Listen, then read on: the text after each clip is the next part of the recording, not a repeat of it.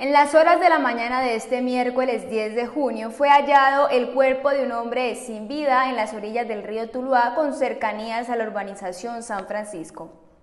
Como John Jairo Sánchez Martínez, de 26 años de edad, fue identificado el hombre que fue encontrado por un habitante del sector San Francisco, quien dio aviso a las autoridades.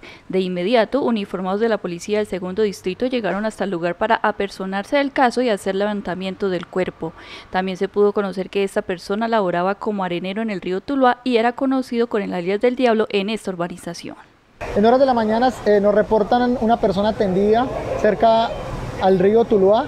Unidades del modelo verifican mencionada situación y logran evidenciar el cuerpo sin vida de un hombre de 26 años quien pierde la vida producto de una agresión con arma de fuego eh, en su humanidad. Esta persona presenta antecedentes por el delito de porte tráfico de armas de fuego. Hacía seis meses había recobrado su libertad y creemos que obedece a un ajuste de cuentas. De otro lado, las autoridades continúan con las intervenciones en diferentes sectores del municipio, donde se ha logrado importantes capturas e incautaciones de estupefacientes, armas blancas y de juego. Claro que sí, continuamos con las intervenciones, continuamos trabajando.